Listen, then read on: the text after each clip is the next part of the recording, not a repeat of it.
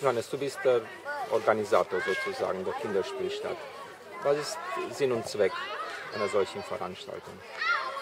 Der Sinn dieser Veranstaltung besteht in zweierlei Punkten. Das eine ist, dass die Kinder ihre Persönlichkeit entfalten und das andere, der andere Punkt ist, dass sie noch ein wenig Deutsch lernen. Und es ist, äh, die Kinderspielstadt ist speziell gemacht für Kinder, die Deutsch sprechen, für die äh, Länder, durch die die Donau fließt. Das heißt äh, in erster Linie Rumänien, aber dann auch Ungarn, Serbien, Kroatien und, und Deutschland. Äh, leider sind nicht aus allen Ländern in diesem Jahr gekommen, sondern nur aus Serbien, aus Deutschland und aus Rumänien.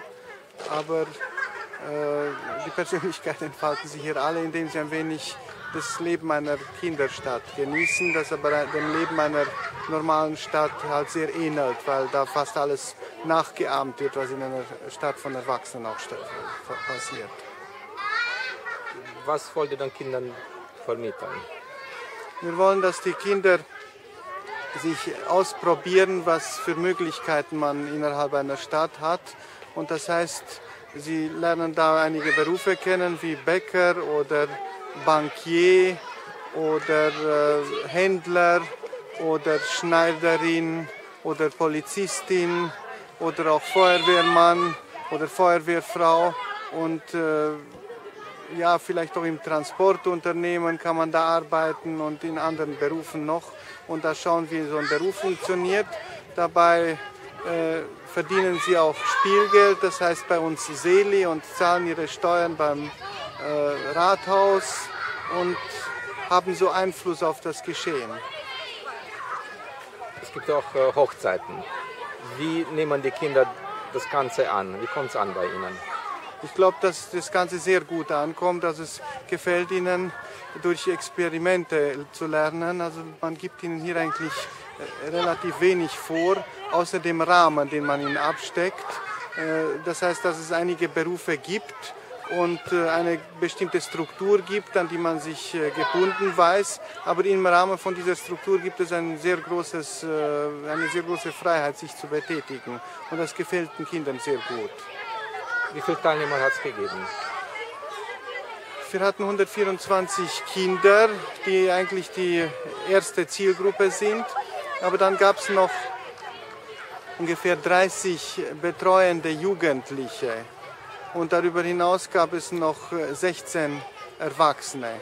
Und äh, ich denke, dass die Jugendlichen auch zum Teil äh, Teilnehmer sind. Äh, das heißt, sie machen eine Zwischenfunktion. Äh, in, einmal lernen sie auch und können sich auch da entwickeln, aber auf der anderen Seite betreuen sie dann auch in begrenztem Maße Kinder.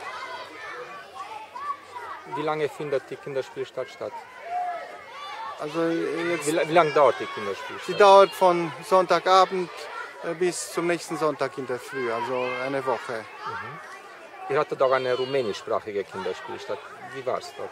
Wir hatten auch eine rumänischsprachige Kinderspielstadt in diesem Jahr das erste Mal, denn die deutsche läuft jetzt schon zum dritten Mal. Und äh, sie ist äh, sehr interessant abgelaufen, also in gewisser Weise ähnlich, aber dann doch ein bisschen anders. Für mich war sehr interessant zu sehen, wie viel Kultur dann doch die deutsche Sprache vermittelt. Denn die meisten von den Kindern sind sowohl in der einen als auch in der anderen äh, aus rumänischsprachigen Familien, aber sie verhalten sich anders. Und äh, da könnte ich vielleicht ein paar Sachen punkten, was da anders ist. Zum Beispiel die Kinder in der deutschen Spielstadt sind sparsamer. Das hat äh, ein bisschen äh, Nachteile, weil äh, äh, die Wirtschaft nicht so gut funktioniert, denn die Wirtschaft äh, überall basiert eigentlich darauf, dass das Geld ausgegeben wird, nicht dass man es anlegt. Und da waren in dieser Spielstadt dann noch einige Probleme, aber die Probleme konnten gelöst werden. Und äh, die Kinder in der äh, rumänischen Kinderspielstadt waren vielleicht etwas weniger ordentlich, aber dafür etwas kreativer. Die haben viel mehr Möglichkeiten ausgelotet, Möglichkeiten, an die man gar nicht gedacht hat. Zum Beispiel hat die, Polizei, hat die äh, Feuerwehr plötzlich Geld verdient, indem sie äh, Luftballons mit Wasser gefüllt verkauft hat. Das war überhaupt nicht vorgesehen. Aber äh, der Feuerwehrmann hat gesagt, ja, warum soll man nicht doch einen Nebenverdienst noch haben? Und dann haben sie das arrangiert. Das wäre in der, in der deutschen Spielstadt bisher noch undenkbar gewesen. Da ist man etwas ordentlicher. Ja. Wer hat dieses Konzept erfunden? Woher kommt dieses? Äh, ich weiß nicht genau, wer das Konzept ursprünglich erfunden hat, aber es ist äh, grundsätzlich ein Konzept, das in den 70er Jahren in Deutschland entstanden ist. Und das hat sich dann äh, schön langsam entwickelt und ich denke in den letzten zehn Jahren eigentlich wie ein Lauffeuer verbreitet in Deutschland. Mhm. Das gibt es fast in jeder größeren Stadt. Wie schaut es in Rumänien aus? Gibt es Kinderspielstätte außer eurer? Also wir wissen nichts. Wir haben also in diesem Jahr das erste Mal das hinausgetragen ein bisschen. Erstens durch die äh, rumänische Kinderspielstadt und zweitens, äh, indem wir auch einige Gäste aus Klausenburg und Bukarest äh, eingeladen haben, damit sie den Beruf stehlen, wie man das auf Rumänisch sagt, Fura Meseria. Wir haben das gerne erlaubt und wir hoffen, dass sie dadurch auch vielleicht in andere Städte hinausgetragen wird. Aber da bin ich sehr neugierig. Mhm. Wie siehst du die Zukunft? eurer Kinderspielstadt hier. Ich sehe, ihr, ihr habt mindestens drei, vier Orte, an denen äh, die ganzen Ereignisse stattfinden. Das ist alles schon ziemlich äh, groß angelegt. Wollt ihr noch weiter wachsen oder reicht es? Na, weiter wachsen, also in dem Sinn, dass wir jetzt vielleicht das Ganze noch vergrößern, äh, nicht, aber vielleicht, dass wir mehrere Auflagen machen. Also wir hätten wenn wir die menschlichen Ressourcen hätten, hätten wir überhaupt kein Problem, im nächsten Jahr zwei Kinderspielstätte auf Deutsch und eine oder vielleicht sogar zwei auch auf Rumänisch zu machen. Der Andrang ist derart groß. Wir haben so viele Kinder äh, ablehnen müssen. Ungefähr 50 waren es, die wir nicht annehmen konnten. Und äh, das war bereits im April. Im April war bereits alles voll und wir mussten 50 Kinder nach Hause schicken. Also wenn wir die menschlichen Ressourcen gehabt hätten, hätten wir problemlos noch eine zweite Kinderspielstadt anhängen können. Was müssen interessierte Eltern wissen, bevor sie sich anmelden? Was erwartet ihre Kinder hier? was erwartet die Eltern? Also die, die kind, äh, Eltern können wissen, dass die Kinder hier relativ gut aufgehoben sind. Allerdings äh, wird ihnen hier etwas mehr Freiheit gewährt als in der Schule. Also sie können hier durch äh, Experimentieren äh, lernen und oftmals fühlen sich gerade Kinder hier sehr gut, die in der Schule es nicht einfach haben.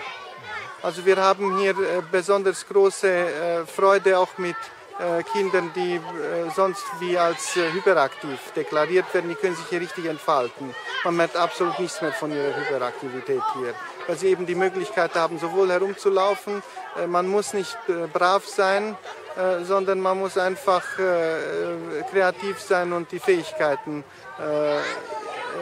einsetzen und dann ist es gut. Wie ist es mit Heimweh bei den Kindern?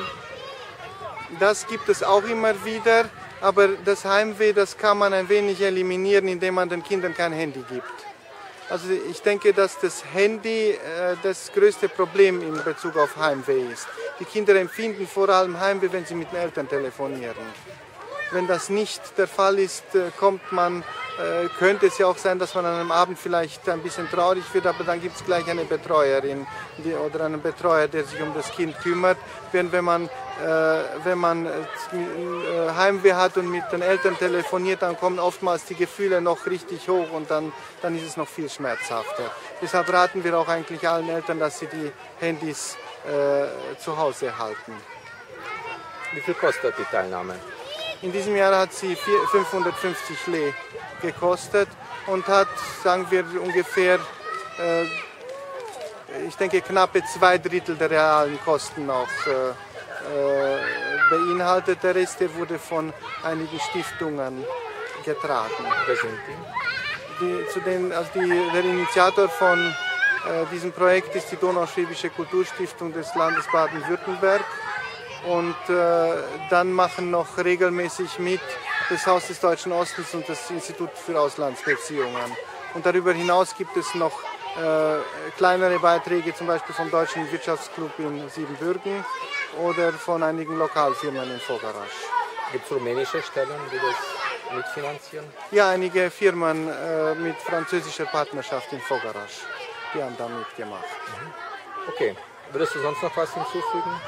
Nein, also ich freue mich, dass Interesse an diesem Projekt besteht und danke, dass die Möglichkeit bestand, dieses Interview zu geben. Danke ebenfalls. Viel Erfolg.